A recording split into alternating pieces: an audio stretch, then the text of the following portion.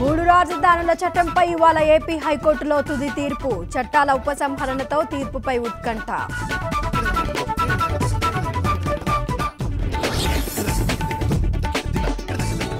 మంత్రి శ్రీనివాస్ గౌడ్ హత్య కుట్రను ఛేదించిన పోలీసులు పదిహేను కోట్ల సుపారీ ఇస్తామని ఆఫర్ చేశారని సిపి వెల్లడి.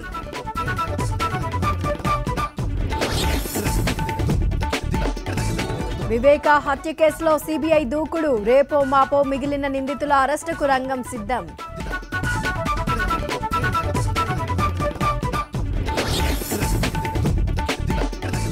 ఇవాళ టీడీపీ పోలిట్ బ్యూరో సమావేశం బడ్జెట్ సమావేశాలకు హాజరుపైనే ప్రధానంగా చర్చ.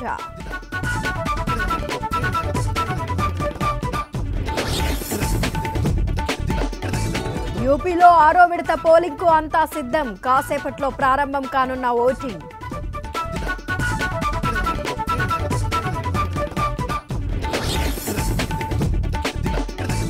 ఉక్రెయిన్లో రష్యా భీకర పోరు ఖార్కివ్ విడిచి వెళ్ళాలని విదేశాంగ శాఖ హెచ్చరికలు.